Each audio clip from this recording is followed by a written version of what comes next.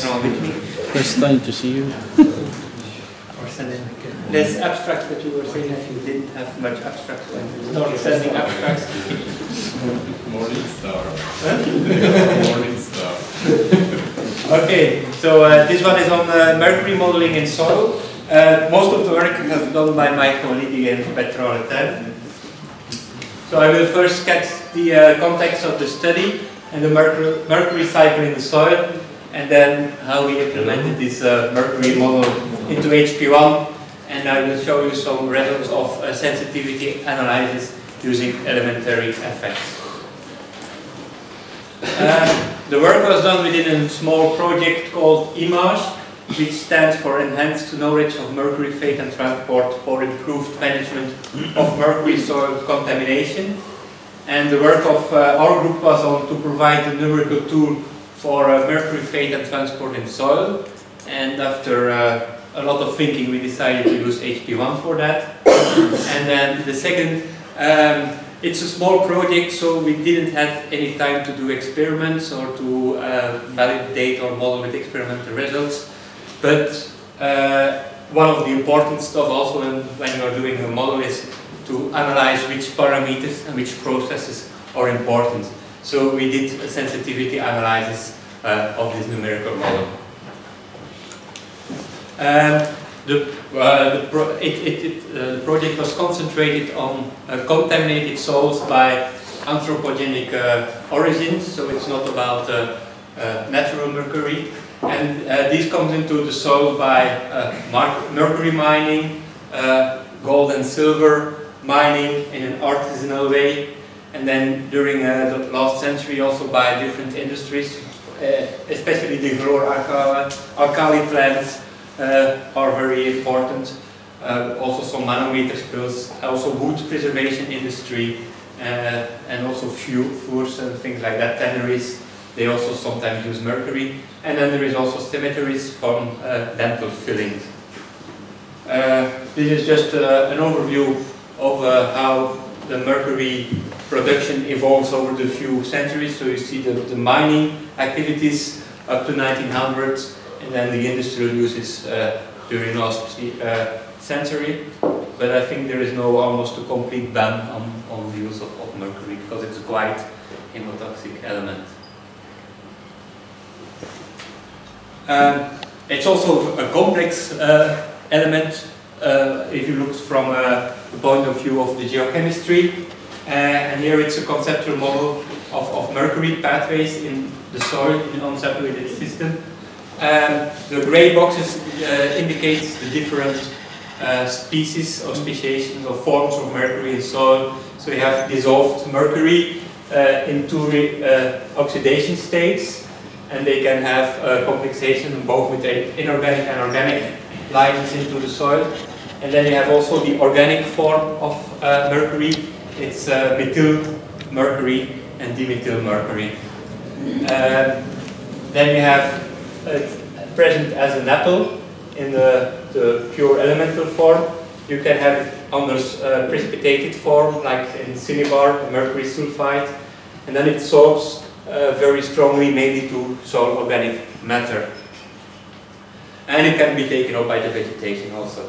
Then there are a few uh, uh, sources of uh, external sources of mercury to the soil. So we have the anthro these are the blue boxes. You have the anthropogenic emissions, uh, the atmospheric depositions, uh, the, the, the litterfall from the vegetation, and the ore deposits and bedrocks. And then you have a, a few uh, fluxes out of the system. So you have uh, volatilization to the atmosphere or uptake by the vegetation. And then you have uh, leaching to the groundwater or subsurface drainage. We didn't include all these processes in the model, uh, so we didn't really have the input from the atmosphere in our model. We neglected the vegetation part because only a very small fraction of the mercury is in the vegetation part. Uh, so we didn't do any atmospheric modeling. Um, we didn't uh, include NAPL migration. We had initial contamination with NAPL, but then, then you had to interpret that as residual NAPL contamination. Uh, we, don't, we didn't have the subsurface drainage because we used the 1D model. And we didn't have the methylation uh, reactions uh, because this is mainly in anaerobic and anoxic conditions, so in wetlands and lakes. And they are a little bit less relevant for aerobic systems, which we were dealing with here. But still, it's quite a, a complex reaction network. Uh, this picture you already seen in, in a previous talk, um, and I, I, hope you still remember most of it, so I will not go into detail.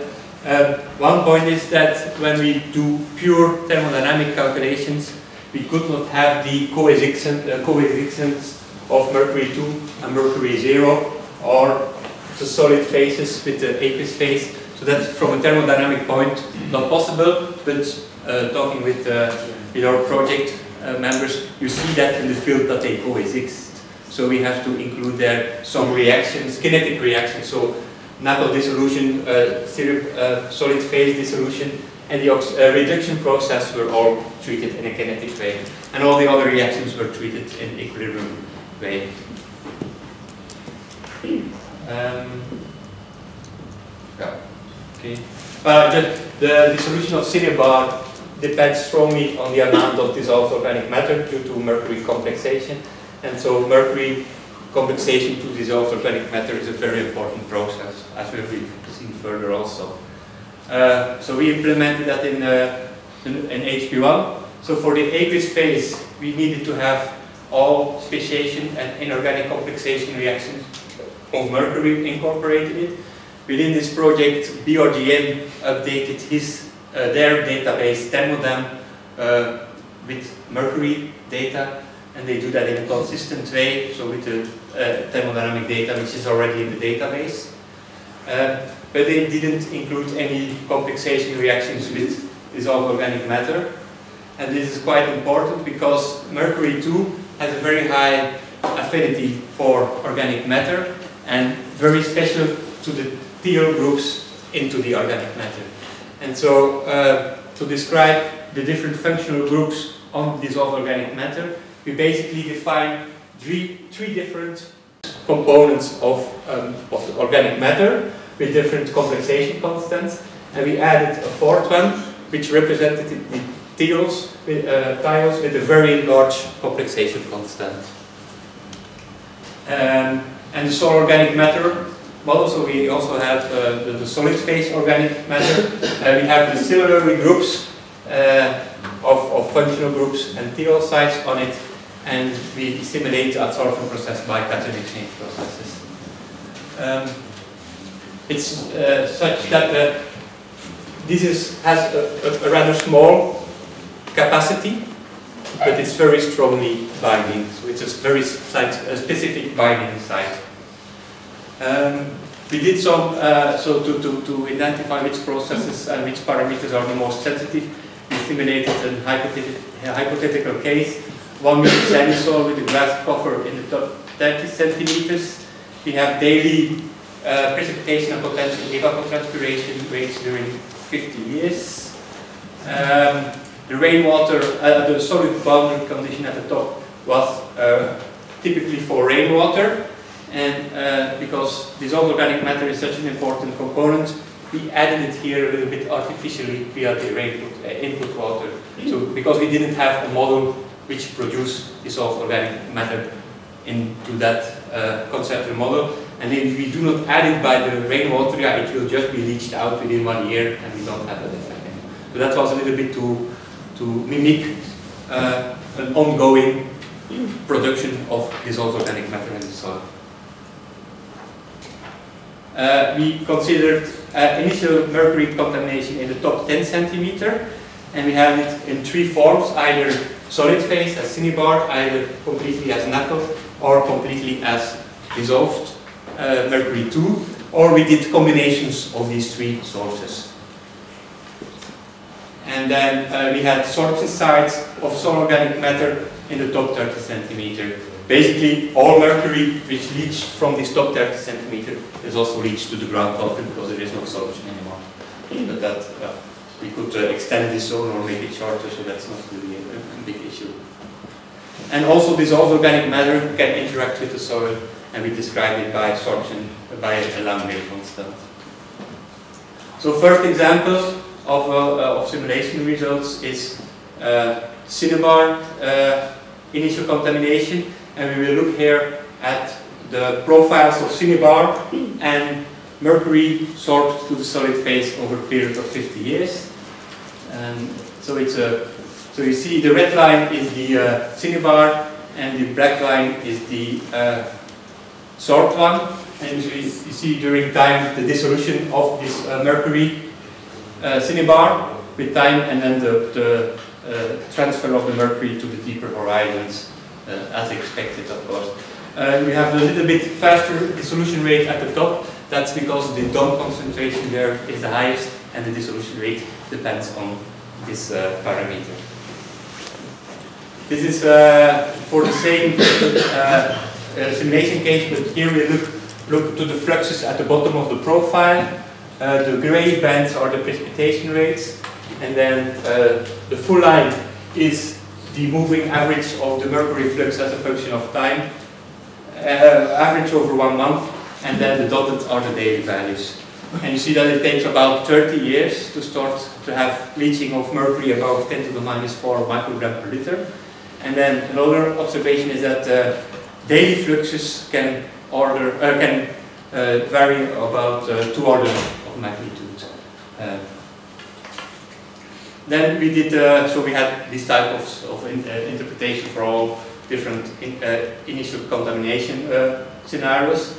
And then we looked at sensitivity analysis, so we did a screening method based on the Morris 1 at the time design where we have a number of parameters and each parameter has a number of uh, levels of values and uh, we, are, we are stepping through the uh, parameter space by always changing only one parameter yeah and uh, that's done in a random way the selection of the parameter and in which way we have to change it that's all in a random way but uh, and for every step we calculate the difference between the previous uh, between the two simulations for some indicators, and that will give you the indicator, uh, the, the elementary effect of this parameter.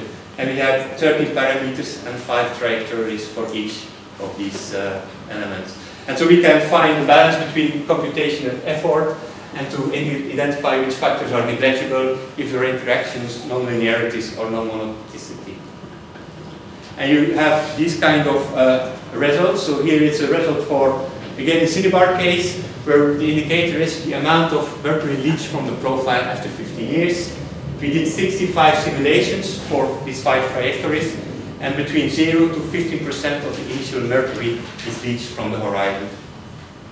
And here you see plots, I will only go uh, into this one here then. Uh, you see the uh, average of the elementary effect of the different parameters versus the variance of the elementary uh, um, effects. And if this is high, this indicates nonlinearity or interaction between other parameters.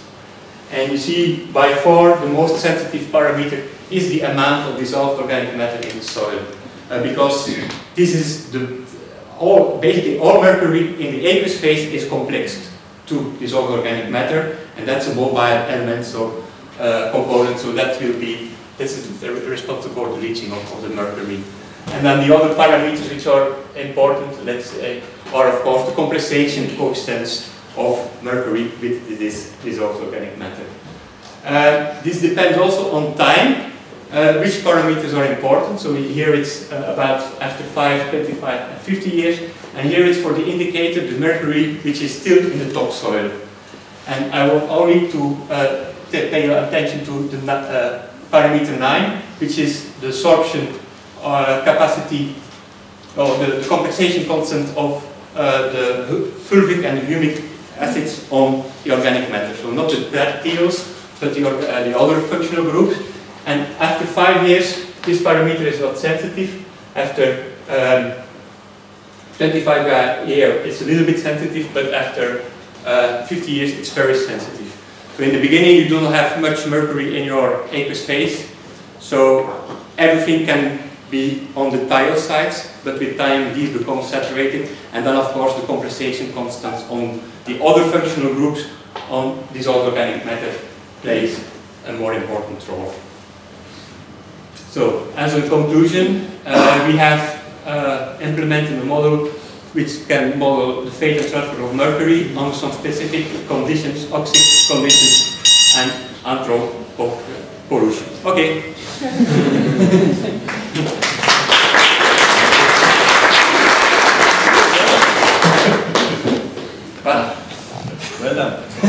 time. uh, Austrian precision, huh? eh?